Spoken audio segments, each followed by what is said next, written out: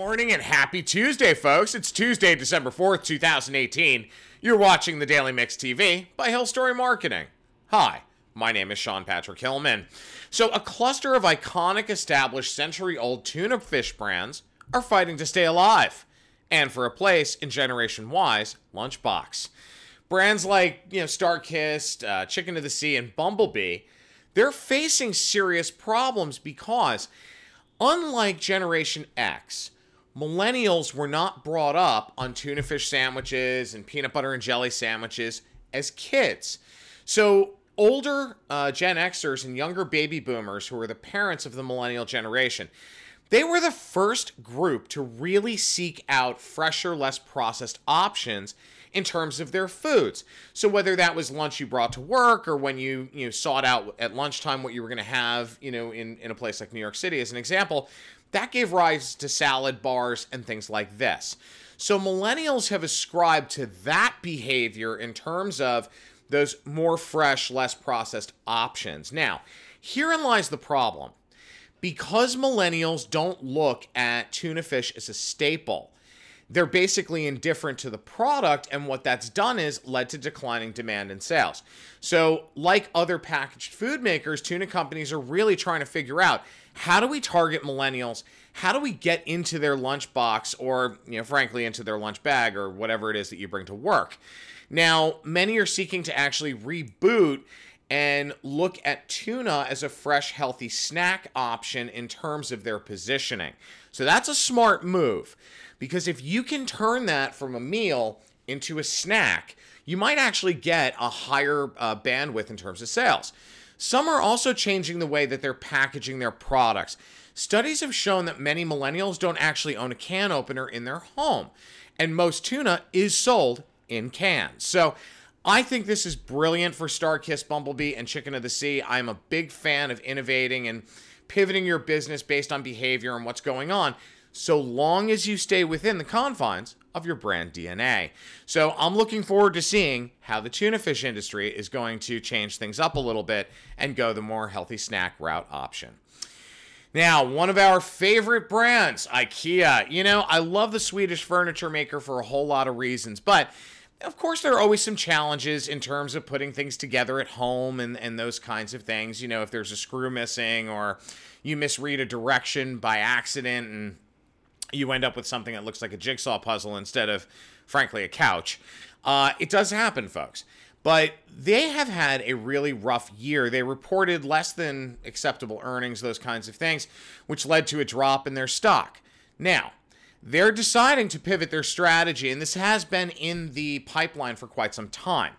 IKEA is planning to open its first city centered store in the United States next year as it looks to shift its retail space from those big box outlets in suburbia to and rural markets to basically smaller spaces in urban metros. So, the IKEA Planning Studio is opening in Manhattan in the spring. It's going to be located in Midtown on 3rd Avenue. I believe it's going to be a three story store. The world's biggest furniture retailer has opened similar stores in London and Stockholm, but here's the catch, guys. You cannot physically walk out of this store with product. They're going to have demonstration areas set up like they do in the big box stores in terms of those here's how your living room should look, here's how your kid's room could look, those kinds of things. You go in, you choose the products you want, and they will deliver them to you from a nearby warehouse. So, no more little pencil on the scratch sheet. Uh, in these kinds of stores, of course, the big box stores will still be open and you'll still be able to do that there. But this is not a cash and carry. This is, in fact, uh, you know, charge it up, cash, whatever it is, and then they'll deliver it to you uh, very shortly after your visit.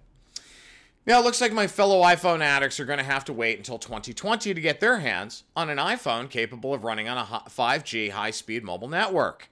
The tech giant has followed the same approach with the introduction of 3G and 4G to allow bugs to be worked out of various systems. Experts are saying delaying a 5G enabled iPhone is risky since the improvement in the network speed will be dramatic and allow competitors to take an edge.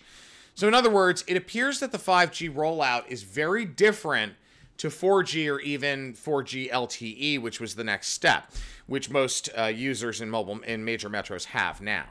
When new higher speed bandwidths open up, You got companies like Verizon and AT&T that bid for licenses, frequency priority, and more. Once approved, those providers then upgrade their respective towers with the appropriate equipment to accommodate the new bandwidth. But during the 4G rollout, as an example, there were a lot of hiccups. And you had heavy call drop offs, you had data fall off, the whole thing. Now, so Apple doing this makes sense to a degree. But something tells me, given the excitement around 5G and, you know, and what's going on in terms of that rollout, we've been talking about it for a couple of years now. The idea that Cook and company are going to miss out on an opportunity here comes to the forefront, unfortunately. And I do hope I'm wrong, given the beating that Apple stock has taken in the last couple of months. Lance Morrow, who's a writer at the Wall Street Journal, he wrote an opinion piece on Friday in the Wall Street Journal I thought you might want to hear a snippet of. So, uh, again, remember, we don't get into politics at the Daily Mix TV, but this is interesting from a pop culture and societal perspective. So, outrage has become the signature emotion of American public life. People are so used to it, the noise, the flying spittle, that they were pleasantly surprised when Representative elect Dan Crenshaw of Texas declined to be incensed. He is the former Navy SEAL who lost an eye in Afghanistan and was mocked, more stupidly than viciously, for his eye patch by a, form, by a performer on Saturday Night Live. The insult called for outrage in the usual tit for tat, but instead, Mr. Crenshaw took it in good humor. He went on SNL to accept the performer's apology. Now, not everything needs to be treated as an outrage, he said, a grown up in a moment of grace. Well, people have been mad as hell for much of the 21st century, starting roughly with the stalemated Bush Gore election in 2000, followed quickly by 9 11. Fundamentals have been changing fundamentally marriage, sexual identity, racial politics, geopolitics. Outrage flourishes also because of the rise of social media, the endless electronic brawl, and because it plays so well on our screens. Cable news draws pictures in crayons in bold primary colors that turn politics into cartoons. On the left, stay, stay woke means stay outraged. Trumpians want to lock her up or build a wall. Outrage is reductive, easy to understand. It is an idiom of childhood, a throwback even to the terrible twos. So basically, Lance is saying that we have regressed in age and are acting like a bunch of children. And you know what? He's right. Given the holiday season is upon us, can't we do this? Can't we just give peace a chance? I thought you folks might appreciate this little throwback today. Put on your yarmulke, here comes Hanukkah. So much funaka to celebrate Hanukkah. Hanukkah is the festival of lights. Instead of one day of presents, we have eight crazy nights.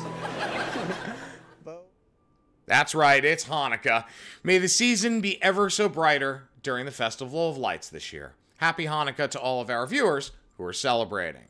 Now, in closing, I know this sounds crazy to some, but believe it or not, this is National Influenza Vaccination Week. As we head into the heart of the holiday season and the flu is running rampant in many cities like New York right now, please go to your local CVS to get your flu shot. Flu shots are available seven days a week with no appointment necessary at CVS Pharmacy and Minute Clinic locations nationwide, including locations inside select Target stores. So consumers can easily find the store closest to them using cvs.com slash flu or the CVS Pharmacy app. And for those patients planning to go to a Minute Clinic for their flu shot, location information and current wait times can be found on the CVS Pharmacy app or Minute Clinic Com. My name is Sean Patrick Hillman. I'm the CEO of Hill Story Marketing. I'm also the editor in chief of the Daily Mix TV. Thanks for watching, guys. We'll see you tomorrow on Hump Day.